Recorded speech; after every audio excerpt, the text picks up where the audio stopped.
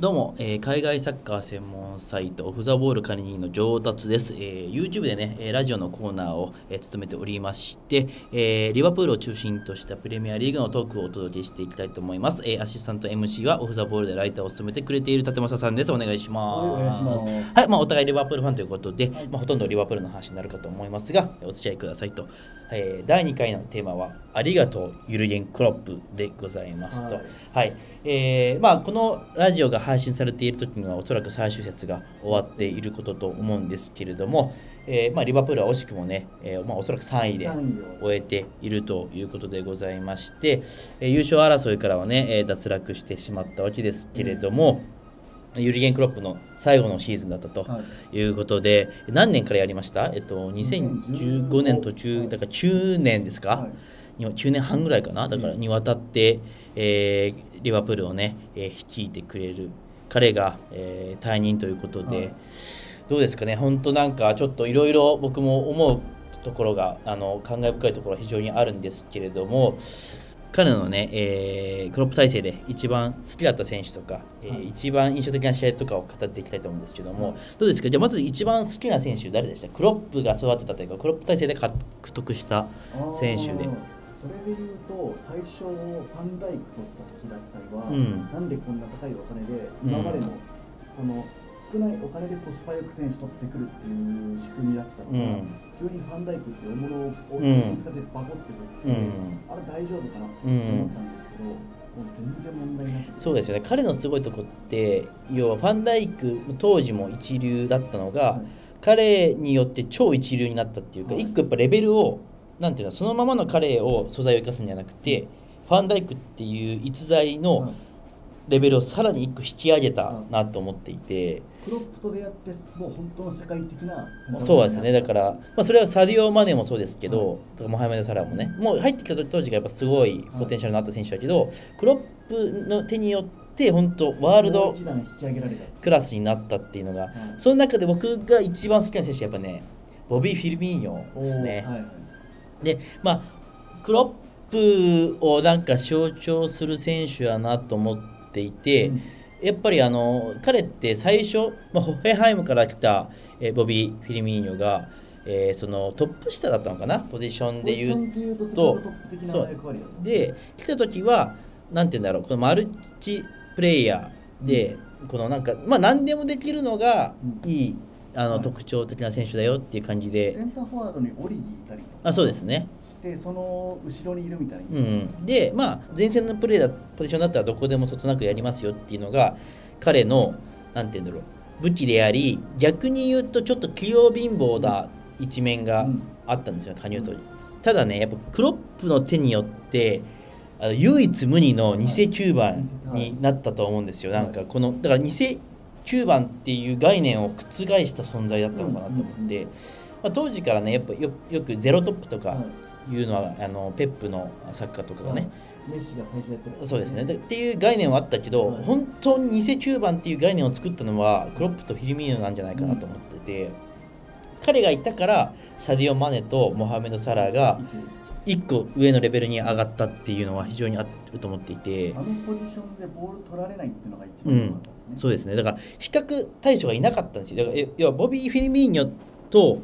同じ系統のうん。選手がいなくて比較できなかったんですよ。だから例えばえハリケーンだったらレバンドフスキと比べられるじゃないですか、うん。とか、えー、とじゃあサラだったら今今で言うとサッカーとかなのかな、うん。とかあのじゃあマネーなのかルイス・ディアスなのかとかっていうなんかプレースタイルが似てるとか特徴がストロングポイントでここがあのどっちがいいっていう比較ができると思うんですけどじゃあいまだにフィリミーニョって誰と比べればいいのっていうとほとんど世界でいないんですよね。だから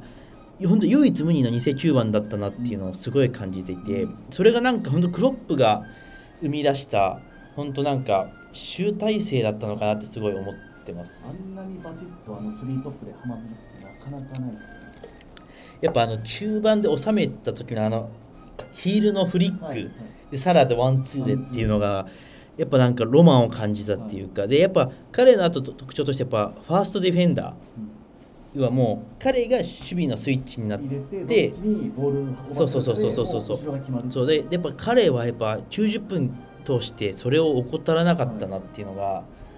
やっぱあのファーストディフェンダーの役割を担ってくれるからリバプールのショートカウンターがうまくいっていて。うんプレスが下手なセンターフォワードだと後ろ見ずにバーッとそうですね行っちゃうからもう終わっちゃうんですけどフィルミーノ常に後ろ気にしそうなんですよ。ねだら。からうまうまいんですよね。コース切りながら。だから言い方悪く言うつもりなんですけどダルウィンはちょっと本能的に走ってるので、ライオンプレスそう。ガガオーっていくんで連動しないのがちょっとあったなって思って。でも頑張ってるんですよ。頑張ってるんですけどボビーはクレバーなプレッシングでコースを切ってとか。で、うん、ハードワーカーで。でえっとやっぱねエゴがなかった。それがやっぱあのポジションでなんかよくやっぱハーランドを含めていやそこパスしとけば1点だったのにっていうシーンはい。どうしてもあるじゃないですか、はい。でサラーとマーネがそこで揉めたりとかうんあったじゃないですか。でフォワードとしてはやっぱ自分が点取るっていううん。気持ちがあるのはもちろん大事だしただそれで棒に振ってきたチャンスも、まあ、クリスチャン・ロナウドとかもあるじゃないですか、でもやっぱそこがないから必ずその時のあのなんていうんだろう正解うん。最善策を彼は取ってたなと思っててフィリミーニだからパスもそうだし。まあ、確かにそうなるとクロップ対戦の中で一番サッカー IQ 高かったの誰って言われたら、うん。ボビー・フィルそうですね。で彼自身リバプールに来なかったら今のああいう選手になってなかっただろうからだからもっと違った選手になってただろうからね、うん。トップ下だったのか。だからそういう意味でガクポはボビーの役割をし託されて苦労したなっていう、はい。だからあの結構ぎ終盤まで彼良くなかったと思うんですよ、うん。ガクポ良くなかったんですけどあのここ最近良くなったじゃないですか、はい。あれはもう真ん中じゃなくなったからなんですよ、はいはい。だから左になったじゃないですか。だからボビーっていう役割を解放されてようやくなんかガクポが、あの楽になったじゃないですけど、うん。要は左で持って右でカットインしてクロスみたいなプレーが多分得意なんですけどやっぱりボビーの役割は担えなかったんですよね、ガクポには。うん。いい選手ですけどやっぱりあれは無無理だったんですよね。だからっていう意味で言うとやっぱチームのカラーを変えないといけなかったんだなっていうボボビーがいるかいないかでチームって変わるんだなっていうのを思わせてくれた存在だったんでなんか僕僕もあの立山さん知ってると思うんですけど、はい。ボビーの T シャツよく着てます でキャラクター良かったですよね。なんかあの目隠すパフォーマンスとか、あのスターツ戦で目やられたあ時に目隠すパフォーマンスとかあとゴールパフォーマンスが結構いろいろおしゃれだったなっていう選手でなんかもう僕はボビーかなっていう気持ちがすごいありましたと。でどうですか？そのあとはクロップ体制で一番印象的だった試合とか。もうそれはもうあれです。バルセロナ戦。ですよね。皆さんやっぱ、えー2019年のリバプールとバルセロナでずっとファーストレグ0-3で折り返して、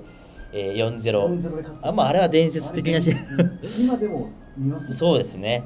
であのサラがはい。ネバーギブアップの T シャツ着て、はい僕はあれ買ったっていう。感 じですけど。あの試合だってサラーいないフィルミーノいないそうですね。っていうところからスタートして、オリギが決めて、はい。えーワイナルドゥームワイナルドゥームオリギオリでやっぱあの試合はちょっと、まあ、伝説的アンフィールドの魔法っていう感じでしたよね、うん。でそっちがそのまま優勝まで行ったんで、確かにこれは避けては通れない。この試合はもうとてつもない。そうです。だから僕も今のこの質問で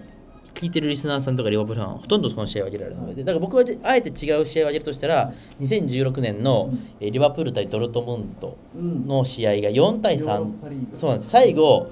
クロスにデアン・ロブレンが頭 ミルナのクロスだったかな、にロブレンが頭をた上から叩き込んであのあの時があの1-3にされたんですよ。後半残り15分ぐらいでマルクロースに決められて、はい1-3ではもうこれ無理だなって言ったところから3点叩き込んで、確かねフィリッペ・コーチーニョ、うんママドゥ・サコー、でロブレンで4-3でした時はちょっとあの脳汁がドバドバでしたね。だからあれがあクロップってこういう監督なんだなっていうのをなんか知らしめた。なんかそうそうだからあこういう劇的な何ストーリーを手繰り寄せる監督なんだなっていうのをすごいでそれで言うとあと僕もこれ、まあ、あんまり挙げられない人多い中で2016年のリバプール対ノリッチ戦もすごい印象的で、うん。でこれは僕本当ライブで見てたんですけどあの5対4なんですよ。はい。で最後あのラストワンプレーでクロスにアダム・ララナがボレーで合わせて叩き込んで、はい。そのアダム・ララナがユニフォームを脱いでクロップの元に駆け寄って誰やったかな？コロトゥーレか誰かがあのうわーってなった時にクロップの顔面を思いっきり殴って で眼鏡が壊れるっていう。なんかあれ誰だったかな？コロトゥルだったかな？誰かがあの本当に 顔面 ガンの面をグーで思いっきり眼鏡がぐちゃぐちゃってなるシーンがリプレイでスローで なって。あてそれあの点決まった時の話で言うと、ん。どの試合だったか忘れたんですけど今季か昨シーズンかに あのップがあのゴール決まった時喜びすぎてハムストリングやるあの審判に第4の審判になんかなんかなんなんて煽るじゃないですか文句言いに行ってそのまま戻ってきたしで。ハムストリングやってるあれはなんか This is グロップでしたね、はいなんか愛される監督だなと思ってなんかそういう意味で言うと次ねおそらくスロット監督だと思うんですけど大変だなとは、うん。まあ思いつつねもう本当これあと20分30分語れるんですけど、まあ今で言うとまあ一番まあ、ダイクとか、まあ、フィリミーニョとか、まあまあ、トレント・アーノルドもね彼がいクロップがいたから今みたいな選手になってると思いますしこういう劇的な試合を演じてきたクロップにね、えーもうだから彼の堂々を立てるべきだとは僕は思ってるんですけども、あのね、感謝の、えー気持ちを伝えさせていただきます9年間ありがとうございましたということでねまたねあのできれば敵としてお会いをしたくはないので、プレミアリーグはやらないでほしいですけどだから別のところで。どうかなどっかやるのかなドイツ代表とか、まあ、来年1年休むとしクてロッ、プ的にはドイツ代表やりたいっていうのは言ってるうん。ん、でバイエルンはやりたくないでしょうから、はい要はまあドルトムントのっていうと実はそんなに選択肢ないんじゃないかなって気がしてて。アンチェロッティの後のレアル・マドリードとかめちゃめちゃ合いそうまあです、まあ確かにね。でもなんかそこになんか気持ちを高ぶらせる監督じゃないのかな。だから当時もうボロッボロのリバプールに来たから、はい。もう本当あの崩壊寸前のチームに来てそれを蘇らせることになんかエクスタシーを感じる監督なのかなって気がするんで、そういう意味で言うとだからどっかその来年の今頃もうこれは厳しいなこのチームも可能性はまあそれでいうとドイツ代表もそうなんですけどね、はい。含めてまあちょっとどこをえー率いるのか、えっとまあちょっとね期待しつつ我々はね、えー永遠にクロップのファンですから、はい。だね立正さんなんてドルトムント時代から。ドルトムント時代から。だからそれがきっかけですもんねクロップが好きになってドルトムントを好きになったし、リバプールも好きになったという意味で、まあねあのクロップのこれまでの功績に感謝を示しつつねこれからも応援してますということで、はい。ありがとうございましたとはいいうことで今回のラジオ以上になります。